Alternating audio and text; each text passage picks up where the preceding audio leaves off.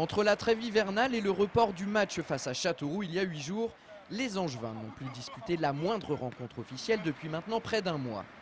Demain soir, les hommes de Jean-Louis Garcia vont voir le bout du tunnel, puisqu'avec la réception de Bastia, ils s'apprêtent à retrouver la compétition et le championnat. Vous allez pouvoir le constater, il était temps, les joueurs commençaient à avoir des fourmis dans les jambes. On a vraiment hâte d'y être. Euh, je crois que là, on a repris depuis le, 28 décembre. Euh, bon, dernier match championnat date du 19, 19 euh, décembre. Ça va faire bientôt un mois. Et je sens beaucoup d'impatience. Maintenant, c'est vrai qu'on se languit de, de, ce moment et de, recommencer à, jouer ensemble. On a tous envie de reprendre la compétition parce que c'est ça qui nous fait vivre. Donc, on, attend avec impatience ce match de, de Bastia vendredi. Impatience, envie débordante, vous l'aurez compris, la motivation sera sans aucun doute au rendez-vous demain soir côté Angevin. Mais attention tout de même à ne pas tomber dans l'excès.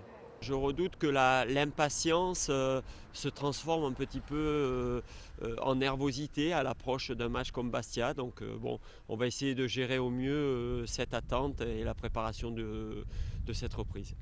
Pour entamer 2009 comme ils ont terminé 2008, les scoïstes n'envisagent rien d'autre qu'une victoire face aux Corses, même si certaines interrogations demeurent.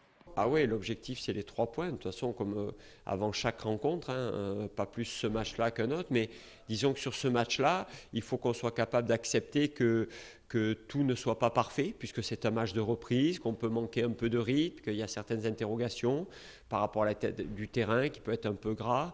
Donc euh, il nous faut avant tout rechercher l'efficacité. C'est là-dessus qu'on a mis l'accent en début de semaine, parce que par exemple contre Saumur, euh, on a fait de très très bonnes choses, mais on n'a pas été efficace, notamment dans le dernier geste, dans la dernière passe et dans la finition. Donc, euh, euh, avoir conscience des priorités dans un tel match, et la priorité, ça sera l'efficacité. L'efficacité, c'est justement ce qu'il avait manqué aux hommes de Jean-Louis Garcia l'année dernière à la même époque. Janvier 2008 s'était soldé par un bilan plus que moyen, deux nuls et une défaite en trois matchs de championnat. Les Angevins en ont tiré les enseignements ils ne veulent plus reproduire les mêmes erreurs, d'autant que ce premier mois de l'année 2009 pourrait conditionner la suite de la saison. L'année dernière, justement, on a, on a passé un mauvais janvier-février, et ce qui a fait qu'on a un petit peu lâché. Donc c'est vrai que c'est assez important euh, pour la continuité, quoi, pour passer une étape, pour, pour grandir. Il faut qu'on passe un bon mois de janvier-février pour après voir si on peut, on peut faire quelque chose. Premier élément de réponse demain soir face à Bastia. De leur côté, les Corses ont commencé cette nouvelle année de la meilleure des façons en s'imposant 2 buts à 1 face à Clermont la semaine dernière.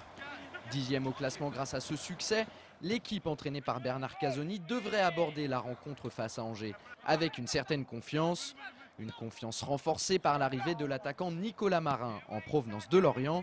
Seul bémol pour les Corses, l'absence du défenseur Mehdi Meniri blessé à la cuisse. Oui, un sérieux potentiel offensif, avec en plus l'arrivée de, Nicolas Marin, qui, a signé des débuts prometteurs en marquant le but de, la victoire contre Clermont. Donc des Pierre-Yves André, des Malek Chérad, bon, on connaît le potentiel de cette équipe. Pour contrecarrer les offensives bastiaises, Jean-Louis Garcia devra se passer des services de Philippe Brunel, une nouvelle fois forfait.